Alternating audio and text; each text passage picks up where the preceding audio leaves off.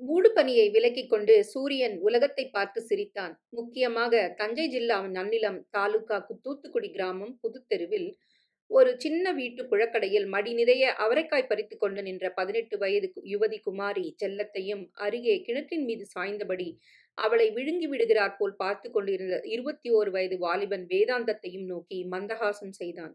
பொறுக்கி எடுத்த சில கிரணங்களையும் அவர்கள் மீது வீசி விளையாடினான். வேதாந்தம் கட்டுக்குடுமியுடன் கன்று குடுமியும் வைத்துக்கொண்டு பளபளவென்ற மேனியுடன் நின்றான். அவனுடைய வெள்ளை சட்டையும் தங்கக் கடிகாரமும் என்ற தோரணையும் அவன் ஒன்று விரும்பினான். அது கிடைக்காமற் போயிற்று என்பது கிடையாது என்பதை பறைசாற்றிக் கொண்டிருந்தன. செல்லத்துக்கு அவன் தன்னை பார்க்கிறான் என்று நன்கு தெரியும் ஆகையால் பெண்களுக்கென்று ஏற்பட்ட பிரத்யேகமான சுபாவத்தை ஒட்டி கவனிக்காதவள் போல் சாமர்த்தியமாக அபிநயம் செய்தாள். எனினும் அவரக்காயின் மீது பாதி கண்ணும் அவன் மீது பாதி கண்ணுமாகத்தான் இருந்தால் இதனால் சிற்சில பிஞ்சுகளை கூட பறித்து போட்டுக்கொண்டாள் கழுத்தில் ஒரே வடம் சங்கிலி கையிலே ஒரே ஒரு ஜோடி வலை காதில் சின்னஞ்சிறிய வெள்ளைத்தோடு உடுத்தியிருந்தது சாதாரண சீட்டி சித்தாடை என்றாலும் கொழுக்கொழுவென்று கரும்பட்டன வளர்ந்த கே நீண்ட கேசமும் தளதளவென்று உருட்சியுடன் விளங்கிய அங்கங்களும் அந்த சந்தான ரங்காச்சாரியாரின் குடும்பத்திற்கே உரித்தான எடுப்பான நாசியும் எல்லாவற்றிற்கும் மேலாக பெண் ஜாதிக்கே இயற்கையாக வந்துவிடும் தழுக்கும் குலுக்கும் அவளை ஒரு ரதியாக தோன்றச் செய்தன என்பது சாதாரணமாக எதிர்பார்க்க வேண்டிய ஒரு முடிவுதான். செல்லம் அவரக்காய் பறிச்சுருக்கியா என்று கேட்டான் வேதாந்தம். அனாவசியமாக ஆனால் சகஜமாக கேட்கப்படும் ஒரு அசட்டு கேள்விதான் இது. இல்ல இல்ல அம்மாஞ்சி பாட்டு பாடின்னு இருக்கேன் என்றாள் செல்லம். சொல்லி முடித்ததும் தன் அழகிய உதடுகளை இன்னும் அதிகமாக அழகு தோன்ற குவித்து அவனுக்கு அழகு காட்டினாள். ஓஹோ செல்லம் அவரைக்காய் பறிப்பதற்காக தான் பாடுறியோன்னு நினச்சுக்கிட்டேன். பாடுவதற்காக அவரைக்காய் பறிக்கிறான்னு இப்போதான் எனக்கு தெரியுது. உன்னை பார்க்க வரவன் பாட்டை கேட்க விரும்புனா நேராக அவரப்பந்தலுக்கு அழைச்சின்னு வந்துட வேண்டியதுதான் சொல்லு. வேண்டாம் மாஞ்சி. எங்கள் வீட்டு கூடமே அவரப்பந்தல் மாதிரி தான் இருக்கு. ஓடு மாற்றி வருஷம் ஏழாறதே என்றாள் செல்லம். இதை சொல்லும்போது தலையை குலுக்கவில்லை. கண்கள் மட்டும் சற்றே கலங்கி குரலும் கம்மியதென்பதை வேதாந்தம் கவனிக்க தெரியவில்லை. வேதாந்தம் ஒரு நிமிஷம் மௌனமாக தன் கன்று குடுமியின் மீது விரலை ஒட்டி ஒட்டி கொண்டிருந்தான். இம்மாதிரி ஒரு பதில் கிடைக்கும் என்பதை அவன் எதிர்பார்க்கவில்லை. பிறகு ஆமா நீ பறிக்கிறத பார்த்தா இன்னைக்கு ஒரு விருந்தாளிக்கும் சேர்த்து பறிக்கிற மாதிரி இருக்கே என்று கேட்டு வைத்தான். ஆமாம் அம்மாஞ்சி விருந்தாளி ஒன்று வந்திருக்கு என்று சொன்னாள் செல்லம். அதற்காக இந்த கொற்ற பணியில வந்து நிக்கணுமா செல்லம்? வேண்டாம் தான் ஆனா அந்த விருந்தாளியும் பணியில வந்து நிக்கணுமான்னு யார் கேட்கறது செல்லத்தின் புன்னகை வேதாந்தத்தை சப்த லோகங்களையும் சுற்றி ஒரு முறை அழைத்துச் சென்று திரும்ப பூலோகத்தில் கொண்டு வந்து விட்டது. நமக்கு இங்க சாப்பாடா இன்னைக்கு? அப்படி யார் சொன்னது? உங்களை அத்தை சொன்னார். அப்புறம் நானும் சொல்றேன் அம்மாஞ்சிக்கு லீவ் முடிஞ்சிடுது இன்னும் இந்த வீட்டில் ஒரு வேளை கூட சாப்பிடலன்னு எங்களுக்கெல்லாம் தாபம் இருக்காதா? இன்னைக்கு உங்க தாபத்தை தீக்கிறேன் என் அத்தாங்கா. இப்போதான் நான் வந்த காரணம் என்னன்னு தெரியுமா? உங்க வீட்டில் எனக்கு இன்னைக்கு சாப்பாடுன்னு சொல்லிட்டு போத்தான் நீங்களாகவா அம்மாஞ்சி? நானாவே தான். பொய் நான் நான் நம்ப மாட்டேன். சரிதான் போ செல்லம். நான் உன் மேலே உயிரே வச்சுட்டு இருக்கேன் இன்னு இப்போது சொன்னால் அதை பொய். நான் நம்ப மாட்டேன் என்று நீ அடித்து சொல்லிவிடுவாய் போல இருக்கே. உங்களை எந்த விஷயத்துல நம்புறது எதுல நம்பக்கூடாதுன்னு எனக்கா தெரியாத அம்மாஞ்சி அவரைக்காய்களை கீழே இருந்த போகினியில் கொட்டிவிட்டு எதிரே வந்து நின்றாள் செல்லம். அப்படியானால் என்னை என் காதலை நீ நம்ப மாட்டாயா? அதை நம்பினாலும் கூட பிரயோஜனம் இல்லை. உங்கள் அப்பாவின் யோசனையை நம்புவது எப்படி? பெரிய மிராசுதார் ஆள்படை அதிகாரம் பணம். அப்புறம் நீங்க ஒரே பிள்ளை அதுவும் செல்ல பிள்ளை. காலேஜில் பிஏ பட்டோம். எங்களை பார்த்து ஏழையாகி எங்கள் வீட்டுக்கு வந்து சம்பந்தம் செய்ய ஒப்புவாரா? எங்கள் குடிசை அவர் கண்ணில் தான் படுமா? அப்பா அந்த பேச்சை என்கிட்ட எடுக்கட்டும் என்றான் வேதாந்தம். எடுத்தால் என்ன செய்து விடுவீங்களா? நான் எடுத்துடுவேன் ஓட்டம். ஓடி போய் அவர் மனசை ஒடித்துடுவீங்க. அவ்வளவுதானே? வேதாந்தம் பதில் ஒன்றும் சொல்லவில்லை. தன் வலது கால் கட்டை விரலின் நுனியால் கீழே பதிந்திருந்த ஒரு பெரிய பாறாங்கல்லை பெயர்த்து விடும் வேலையில் தீவிரமாக முனைந்திருந்தான். நான் சொல்றேன் அம்மாஞ்சி உங்க அப்பாவுக்கு நீங்க ஒரே புள்ள. நீங்க நன்னா படிச்சு பெரிய உத்தியோகம் செஞ்சு செயலுள்ள மாமனார் உழைச்சு கிடைக்கவே அவர் விரும்புறார். அதுல என்ன தப்பு? வேதாந்தம் ஒரு பெருமூச்சு இழுத்து செல்லம் ஷட்டப் நீ சொல்ற முதல் மூணும் உண்மையா இருக்கலாம். நீ இல்லாம என்னால சந்தோஷமா இருக்க முடியாதுன்னு மட்டும் நிச்சயம் என்றான். சரிதான் அம்மாஞ்சி நான் பிறந்தது உங்க அப்பாவோட சந்தோஷத்துக்கு குறுக்கே வந்துட்டது. இல்ல ஒரு காலம் இல்ல. நீ எங்க பிறந்திருந்தாலும் என்னைக்காவது எங்கேயாவது எப்படியாவது உன்னை நான் கட்டாயம் பார்த்திருப்பேன். பார்த்த உடனே இந்த மாதிரி ஒரு நிச்சயம் செய்துட்டு என்னை மட்டுமா பார்த்துருப்பீங்க? எத்தனையோ பதினாயிரம் லட்சம் பெண்களையும் தான் பார்த்துருப்பீங்க. ஆனா உன் ஒருத்தி மேலதான் எனக்கு ஆசை அம்மாஞ்சி. வேதாந்தம் செல்லத்தின் வலது கரத்தை பிடித்தான். மிக மிக மிருதுவாக புஷ்பம் போல் இருந்தது அது. செல்லம் பயந்து கொண்டு நாற்புறமும் பார்த்தாள். யாராவது பார்த்தா என்னம்மா நினைச்சுவா? என்று கையை இழுத்து விட்டு கொள்ள முயன்றாள். வேதாந்தம் விடவில்லை. எனக்கு லட்சியம் இல்லை. நான் ஒன்னே தான் கல்யாணம் செய்துப்பேன். இந்த தூத்துக்குடியில அத்தனை வீடுகளுக்கும் தெரிஞ்சாலும் ஒரு பயம் இல்லை என்றான். உங்க அப்பாவுக்கு தெரிஞ்சா ஆபத்து இல்லையா? அவருக்கு உடம்பு சரியில்லை. அடிக்கடி மார்பை வலிக்கிறதுன்னு சொல்றாரு. இப்ப தெரிய வேண்டாங்கிறதான் என் எண்ணம். இன்னொரு தடவை பெரிய லீவுக்கு வரப்போ கட்டாயமாக இது பற்றி நான் பேச போகிறேன் வாசற்கதவு ஓசைப்பட்டது அம்மா வரா என்று சொல்லிண்டு வாசற்புறம் விரைந்தாள் செல்லம். போகினுக்கு வெளியே சிதறி கிடந்த இரண்டோர் அவரைக்காய்களை பொறுக்கி போட்டுக்கொண்டு வேதாந்தம் அவளை தொடர்ந்து கூடத்துக்கு வந்தான். பெரிய வாய்க்காலில் ஸ்நானம் செய்துவிட்டு செல்லத்தின் தாயார் பத்மாவதி உள்ளே வந்தாள். நன்றாக துலக்கப்பட்ட குடத்தை ஒரு முக்கருடன் இறக்கி தாழ்வாரத்தில் வைத்துவிட்டு வேதாந்தத்தை நிமிர்ந்து பார்த்தாள். வாடாப்பா குழந்த வழி தெரிஞ்சா உனக்கு? என்று கேட்டு ஒரு புன்னகை செய்தாள். அத்தை நான் ஒரு காரியமா நாகப்பட்டினம் போயிருந்தேன். அதனால தான் வரல. உங்களுக்கு உடம்பு சரியில்லைன்னா எதுக்கு பச்சை தண்ணியில வயக்காலில் குளிக்கணும்? என்று கேட்டான். பச்சை தண்ணியில குளிச்சதுக்கா இத்தனை பிராணம் போயிடுமா?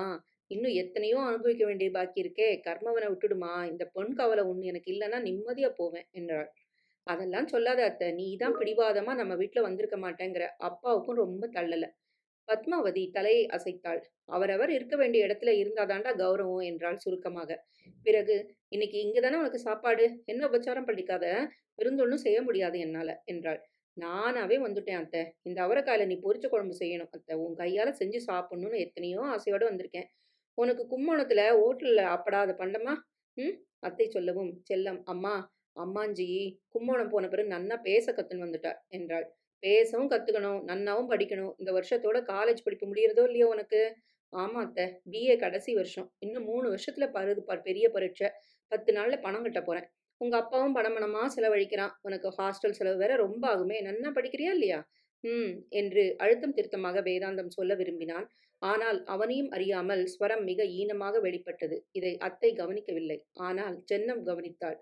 சாப்பிட்டு விட்டு வேதாந்தம் விடை கொண்டு வெளியே வரும்போது வாசல் வரை செல்லம் வந்தாள் அவனை ரேழியில் நிறுத்தி. அத்தான் என்னை மறந்துடுவேளா என்று கேட்டாள். இந்த உலகத்திலேயே மிக அழகான ஒரு பொண்ணை மறக்கிறதுனா வேற எதுதான் ஞாபகம் இருக்கும் என்று திரும்பி கேட்டான் வேதாந்தம். இப்போ உன்னை வந்து பார்த்தப்புறம் எனக்கு கவலையெல்லாம் பறந்து போயிட்டுன்னு தெரிஞ்சுக்கோ என்றான். கவலை போகிறதா நன்னா இருக்கு அம்மாஞ்சி. இனிமே தான் முழு கவலையும் படணும். பரீட்சை மூணு மாசத்துக்குள்ள வருது. அதுல பாஸ் செய்யணும். வெறுமனே பாஸ் செஞ்சா போதாது. முதல் கிளாஸ்ல பாஸ் செய்யணும். அம்மாஞ்சி அதுக்காக கண் விழிச்சு கவலைப்பட்டு எத்தனை படிக்கணுமோ. என்னை பார்த்துட்டு அப்புறம் ஒன்றுமே இல்லைன்னுங்கிறீங்களே. நான் என்னைக்குமே உங்கள் சொத்து தானே. ஏது ஏது செல்லும்? நீ எங்கள் ப்ரொஃபஸருக்கு மேலே லெக்சர் அடிக்கிறியே என்றான் வேதாந்தம் சந்தோஷமாக.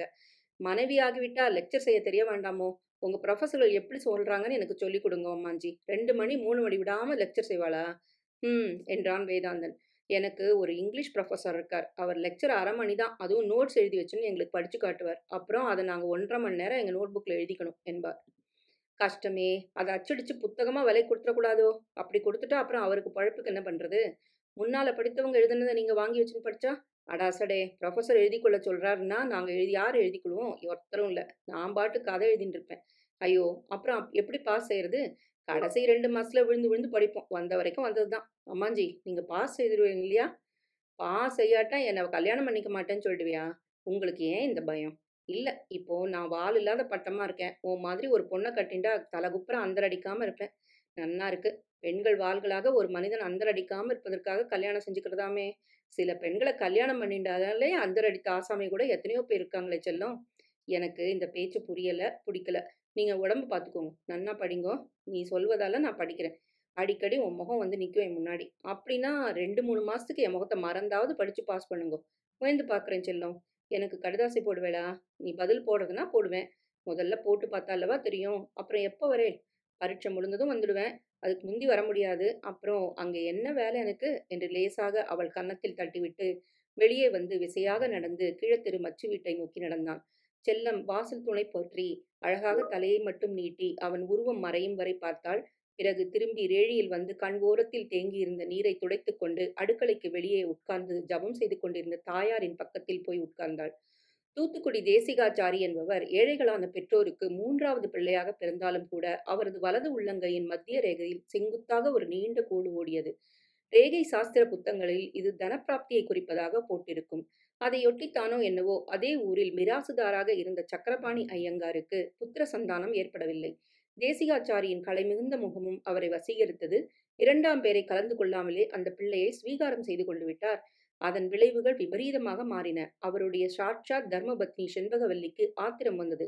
தன் சொந்த அண்ணனுக்கும் தமைக்கும் தங்க விக்கிரகங்கள் போல் குழந்தைகள் இருக்க உள்ளூரில் ஒரு கழுதையை போய் பிடிக்க வேண்டுமா என்று தலையில் போட்டுக்கொண்டார் சக்கரபாணியின் வகையிலேயே பல பேர் அவருடைய சொத்தில் ஒரு பகுதியாவது கிடைக்காதா என்று சகோர பட்சிகள் போல் காத்து கொண்டிருந்தார்கள். இந்த சுவீகாரம் அவர்கள் வயிற்றிலே ஒரு அதிர்வேட்டையை வெடிக்கச் செய்துவிட்டது. சக்கரபாணி ஒரு முட்டாள். மடத்தனமாக ஏதானும் ஒன்று செய்து வைப்பான் என்பது நாங்கள் எதிர்பார்த்ததுதான் என்று அவர்கள் அடிக்கடி சொல்லி பொங்கும் மனதை சமாதானம் செய்து கொண்டார்கள்.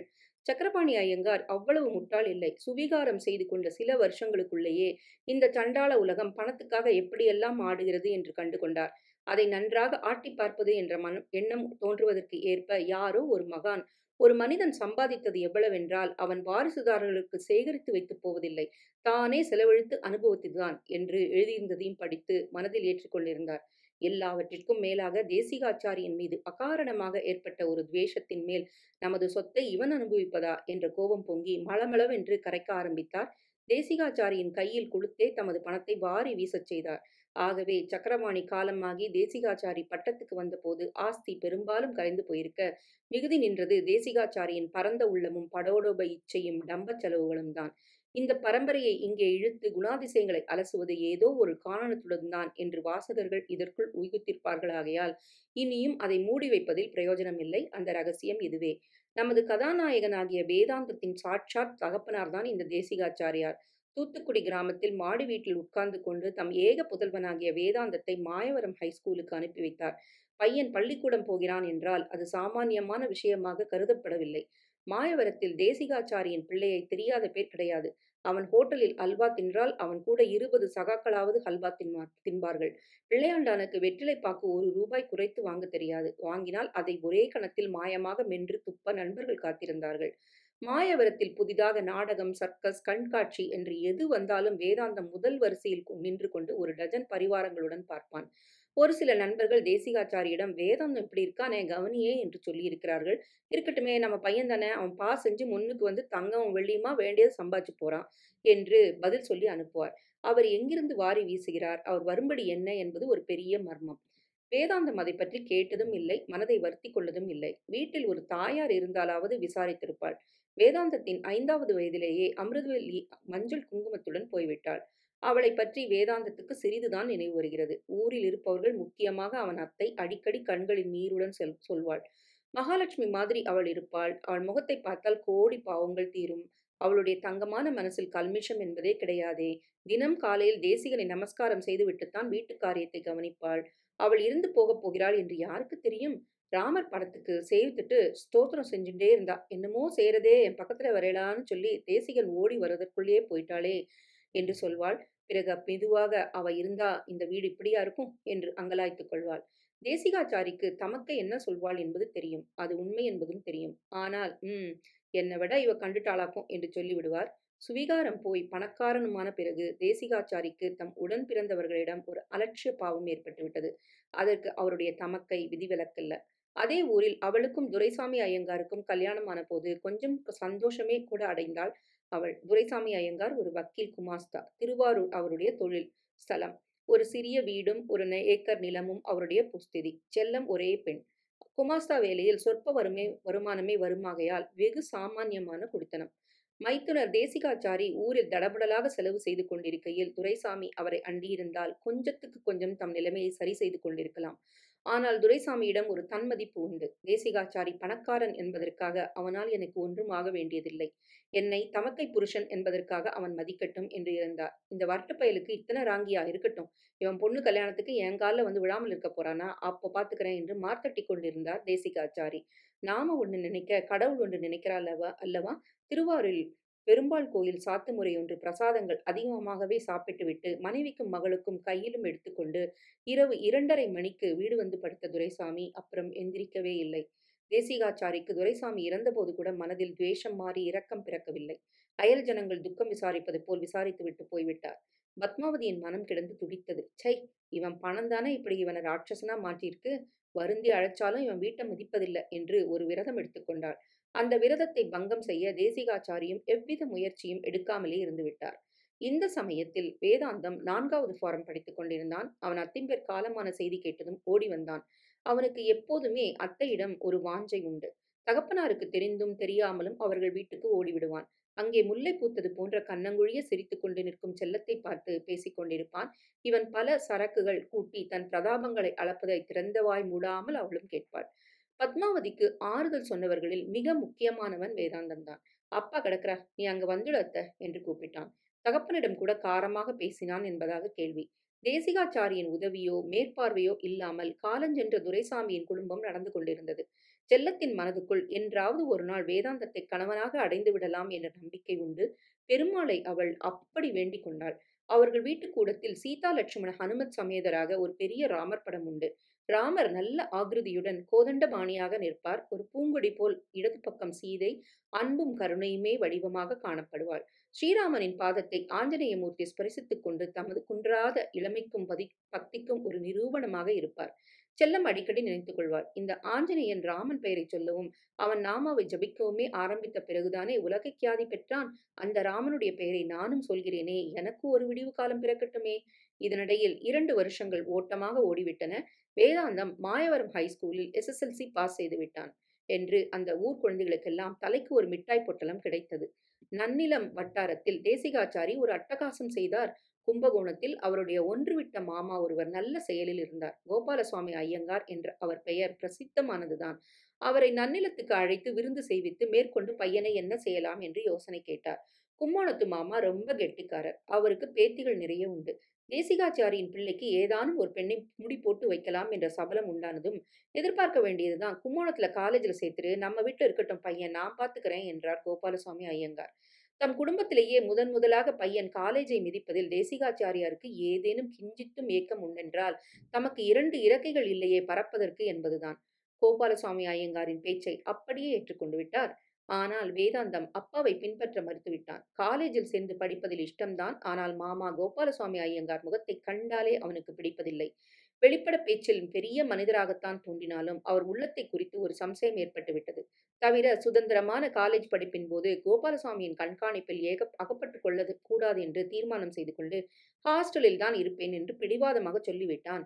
தேசிகாச்சாரிக்கு எங்க படு படிப்பு வேண்டான் என்று மறுத்து விடுவானோ என்ற அச்சம் உண்டு. படிக்கிறேன் என்று சொன்னதில் பரமானந்தம் கொண்டவராக எப்படியோ நீ காலேஜில் நன்னா படிச்சு பாஸ் செய்யணும் என்று அவனை ஹாஸ்டலில் சேர்த்து விட்டார். வேதாந்தம் இன்டர் பாஸ் செய்தான் பிஏ வகுப்பில் சேர்ந்து ஒன்றரை வருடங்கள் ஓடிவிட்டன.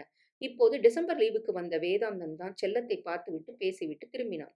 தேசிகாச்சாரி ஒரு கம்பளியை விசு பலகை மீது விரித்து குழம்பு பூராவும் அங்கவஸ்திரத்தால் மூடிக்கொண்டு படுத்திருந்தார். என்னடா குழந்த இன்னைக்கு போய்த்தான் அனுமா என்று கேட்டார் பிள்ளையாண்டானை. ஆமாப்பா நாளைக்கு காலேஜ் திறக்கிறாளே.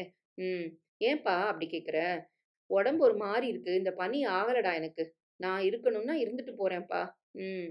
தேசிகாச்சாரி உடனே பதில் சொல்லவில்லை. அவர் மனதில் என்னென்ன எண்ணங்கள் ஓடிக்கொண்டிருந்தனவோ குழந்தை அலமாரி மேல நாலு ஜாதகம் இருக்கு. இப்படி எட்டன் வா. வேதாந்தம் கொண்டு வந்தான். உனக்கு வர வைகாசியில ஒரு கல்யாணத்தை முடிச்சிடணும். ஆமா இந்த அதுக்குள்ள பயிர் பரீட்சையும் முடிஞ்சிடும் இல்லையா? ஆயிடும். கல்யாணம் இப்ப வேண்டாம்பா பிறகு பார்த்துக்கலாம் என்றான் வேதாந்தம். அசடு. உனக்கு தெரியாது. நீ பாஸ் செய்திருவ. பாடங்களை நல்லா படிச்சிருக்கியா? நன்னாத்தான் படிச்சிருக்கேன். இது பொய். இருந்தாலும் மேலும் ரெண்டு மாசம் டைம் இருக்கே. இன்னும் நல்லா படிச்சிடுவேன். இது எல்லா மாணவரும் சொல்வதுதான். எப்படியோ பரீட்சையில் தவறாமல் பார்த்துக்கொள்வல்ல. மார்பை லேசாக தடவி விட்டு கொண்டார் தேசிகாச்சாரி. நீ கவலைப்படாதப்பா கட்டாயம் எனக்கு பாஸ் ஆயிடும். வேதாந்தம் சொன்னதை கேட்டதும் தேசிகாச்சாரியின் முகத்தில் மகிழ்ச்சி குறிகள் தென்பட்டன. இந்த நாலு ஜாதகத்தையும் நீ கும்போணம் போனதும் சுக்கம்பாளைய தெருவில் கோவிந்தாச்சாரிட்ட கொடுத்து நன்னா பார்த்து எனக்கு எழுத சொல்லு. நாலில் ஒன்று கட்டாயம் குதிரணும். வேதாந்தம் ஜாதகங்களில் இருந்த விலாசங்களை மேலோடு பார்வையிட்டான். அவற்றில் செல்லத்தின் பெயரே இல்லை. சிரமத்துடன் முகத்தை மாற்றாமல் வைத்துக்கொண்டு ஆகட்டும் அப்பா என்று அவற்றை பெட்டியினுள் அடக்கி கொண்டான். நான் சாப்பிட்டேன். நீ சாப்பிட்டியோ? ஆட்டுது சேந்தமங்கலம் போயிருந்தனே அங்கேயே சாப்பிட்டேன். அங்கே எதுக்கு போனேன் ஒரு சிநேகிதனை பார்க்க போனேன் அவன்கிட்ட முக்கியமான ஒரு நோட்ஸ் இருந்தது. பொய் தான். ஆனால் வேறு வழி இல்லை. அது கட்சிதா குழந்த. இல்லை அவன் எனக்கு தபால் அனுப்பிடுவான். அந்த தரித்திரங்கள் கண்ணில் எப்போது பட்டையா? யாரப்பா? உன் அத்தை. அத்தை பொண்ணு. நான் போகும்போது வாசல்ல அத்தை நின்றுருந்தா இருந்தா பார்க்காத போல தான் போனேன். சௌக்கியமான்னு கேட்டா செல்லம் உள்ளே இருந்துட்டான். விடு சனியன்கள். வரட்டு ஜம்பம். நீ எப்போ வர அப்புறம்? இப்போது நடுவில் எங்க எங்கப்பா வர முடியும்? ரெண்டு மாசம் படிக்கணும். மார்ச் பரீட்சை முடிஞ்சதும் வர உன் உடம்பு பார்த்துக்கோப்பா அன்று மாலை ரயிலில் வேதாந்தம் புறப்பட்டு விட்டான். கும்பகோணம் காலேஜின் நீண்ட தாழ்வாரங்களில் நடை போட்டுக்கொண்டு பழைய சகாக்களுடன் காவேரியில் இக்கரையும் அக்கரையும் படகில் போய்க்கொண்டு விருதா வாழ்க்கை ஆரம்பித்து விட்டான். அடிக்கடி தேசிகாச்சாரியை நினைத்துக் கொள்வான். செல்லத்தின் இன்முகம் அவன் கனவுகளில் வந்து புன்னகை செய்தது. பெட்டியில் போட்ட ஜாதகங்கள் நான்கும் அப்படியே வைத்தபடி கிடந்தன. இன்னும் மூணு மாசம் கழிச்சு ஊருக்கு போகும்போது அதை பார்த்துக்கலாம் என்று தைரியம் கொண்டிருந்தான். தகப்பனாரிடம் அத்தங்காளிடம் தனித்தனியே அப்படித்தான் சொல்லிவிட்டு வந்திருந்தான் அவன். ஆனால் விதி வேறு பிளான் போட்டிருந்தது. அதில் அவன் ஊருக்கு திரும்ப அத்தனை அவகாசம் கொடுக்கவில்லை.